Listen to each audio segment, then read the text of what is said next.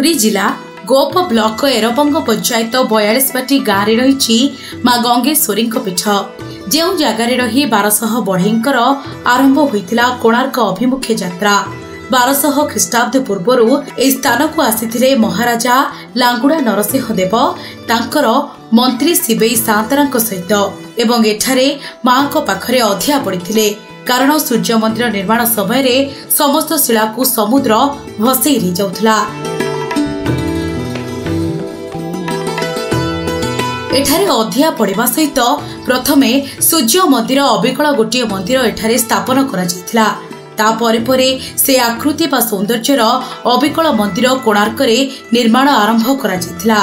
ସୂର୍ଯ୍ୟ ମନ୍ଦିର ନିର୍ମାଣ ପୂର୍ବରୁ ବାରଶହ ବଢ଼େଇଙ୍କର ଏହି ସ୍ଥାନରୁ ଆରମ୍ଭ ହୋଇଥିଲା ଯାତ୍ରା।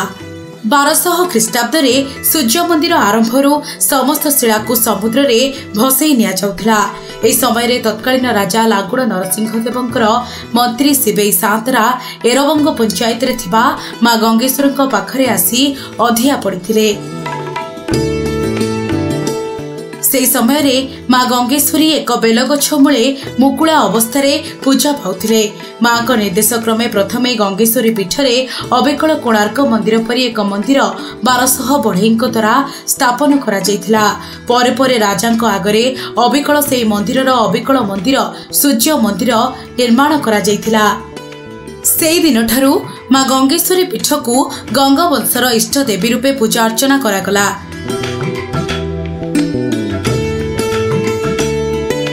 ନିମାପଡ଼ାରୁ ବିବେକାନନ୍ଦଙ୍କ ରିପୋର୍ଟ ସନ୍ଷ୍ଟାର ଟିଭି